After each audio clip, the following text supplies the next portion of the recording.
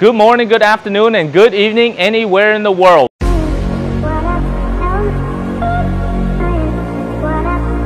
Welcome back to our Global Weekly Updates. I have very exciting news to bring to you. One is about Vietnam opening up, maybe without quarantine. Two is the GDP growth of Vietnam as it impacts the world. And three, what is happening with supply chain right now if you are a manufacturer. The number one thing I want to talk about is uh, Vice Prime Minister Vũ Đức Đam, who will discuss and plans, and he already proposed to the um, Vietnamese government that there will be no quarantine for folks who have two vaccine shots already. So with that, it will be great because Vietnam needs to open up. It's almost set. We're in, the, in December now. There are many companies, individuals, investors, and also family and friends. Especially there are over 4 million Vietnamese overseas and there are roughly about 500,000 that come back to Vietnam every single Tet holidays to spend time with their family.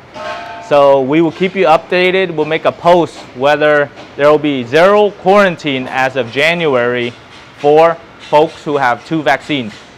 The second thing I want to bring to you about is GDP growth. As you know, last year or this year, uh, uh, Vietnam still grew at 2.4%. And there's still a projection for 2022 that it will grow at 6.2%. I was at an event yesterday for Forbes uh, Business Forum where they had top uh, folks from McKinsey Group, uh, from various uh, different companies and researchers, Nielsen's that talked about the GDP growth of Vietnam, even in light of the supply chain matters. So that is very good news. Look forward to Vietnam continue to grow as one of the top GDP growth percentages in the world.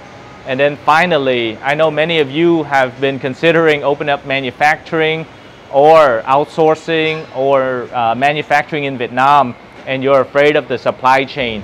But you are not alone because over 84% of the manufacturers right now in Vietnam, based on the survey by McKinsey, AmCham, and also Nielsen's, they are also, their number one concern is regarding supply chain because there's not enough raw materials to import there are not enough cargoes and containers to send to the various parts of the world. And also there are not enough employees uh, who are maybe stuck in the countryside that can't come to the city. With those uh, issues and concerns, we have to look at the supply chain in Vietnam right now. So I have to be remiss if I didn't tell you that you do need to look carefully to decide on whether you want to open up manufacturing right now or wait until supply chain becomes more stable Thus, maybe you should look at other areas and other investment opportunities. As we discussed before, GS25 is a great opportunity because it's purely local, 400 suppliers, uh, there are 150 stores. So you might want to look at some of the investments locally that require local supply chain and sell to the local people in Vietnam where there's not that much international requirements. So take a look at, the, at that as well if you're looking into supply chain. So with those three things in mind, uh, two very positive, one mildly positive, and some of the other opportunities, I want to say thank you on behalf of Duong Global and joining us this week for our Global Weekly Updates. And as always, make sure that you like our Facebook page, subscribe to our YouTube channel, comment below about other opportunities, things you want to hear about Vietnam, and click the bell for notifications. So on behalf of Duong Global, my name is Ken Duong.